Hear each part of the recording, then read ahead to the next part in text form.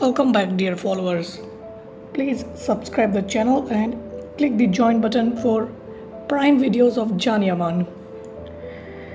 Long awaited TV series and project ended in a disappointment of Yaman. Followers, today we are talking about another series which got postponed due to shortage of time.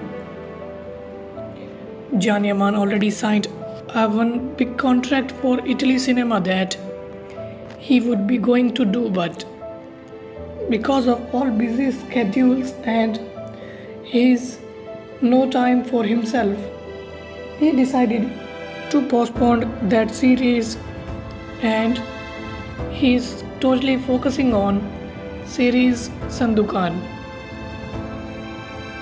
This is showing the commitment of a Turkish star toward his faithful director and fans. This is the big difference between other stars and Can Yaman.